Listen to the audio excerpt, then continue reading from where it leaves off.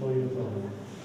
25 listopada o godzinie 16 w Miejskiej Bibliotece w Dzierżoniowie odbył się wernisaż prac Sudeckiego Towarzystwa Fotograficznego. Na wystawie zostały zaprezentowane zdjęcia znanych dzierżoniowskich fotografików, którzy w wyjątkowych kadrach zatrzymali tworzącą się historię miasta. Być może na zdjęciach znajdą Państwo siebie, swoją rodzinę i znajomych. Organizatorzy, czyli Sudeckie Towarzystwo Fotograficzne i Miejsko-Powiatowa Biblioteka Publiczna w Dzierżoniowie serdecznie zapraszają do odwiedzenia biblioteki i zwiedzenia wystawy, która czynna będzie do 7 grudnia tego roku.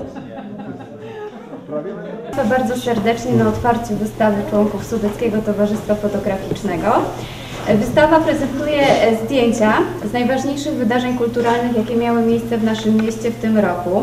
E, My jako biblioteka bardzo się cieszymy, że, że stałyśmy się takim miejscem spotkań i że po raz kolejny możemy gościć e, STF u nas i mamy nadzieję, że nie po raz ostatni. Ja nie przedłużam, z naszej strony tyle, przekazuję głos panu prezesowi e, STF-u Grzegorzowi Wołkowi. Dzień dobry, ja też nie będę zanudzał. Dwa krótkie zdania. Chciałbym bardzo podziękować Urzędowi Miasta oraz paniom, przesympatycznym paniom, które, które nas tutaj goszczą w Bibliotece Miejskiej. Jesteśmy zaszczyceni, że możemy pokazać nasze prace y, akurat w tym środowisku takim biblioteki. Y, Również liczymy na dalszą współpracę.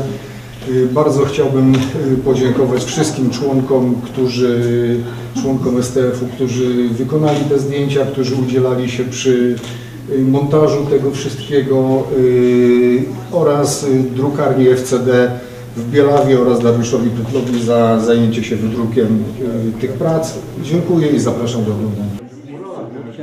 pierwszej kolejności do tego, do Wrocławia będzie.